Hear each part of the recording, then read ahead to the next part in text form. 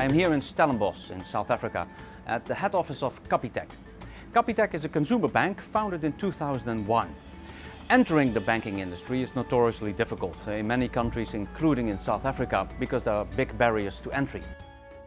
But 16 years on, Capitec has nearly 800 branches, 13,000 employees and over 8.5 million customers. It's become the third largest bank in South Africa.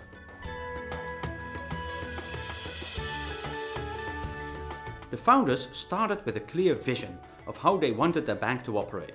Our strength have always been our focus. We started from day one. We said we will have a single account. All our customers will get a gold card. Everybody will get treated exactly in the same way. We only serve individuals. We don't do businesses or trusts.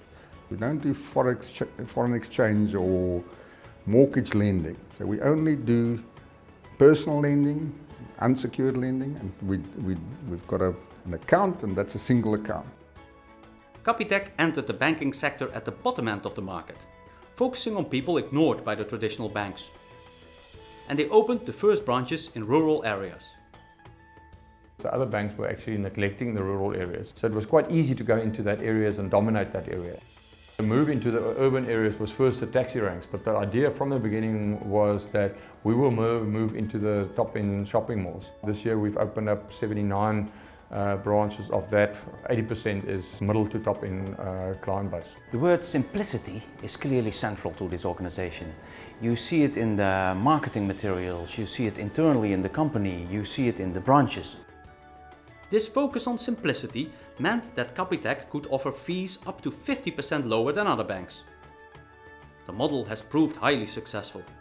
Growth in South Africa has been very substantial. At board level, I always said, long-term vision, we will retain our focus. If we grow in South Africa to a level where you know you reach saturation, then I would want to export the model.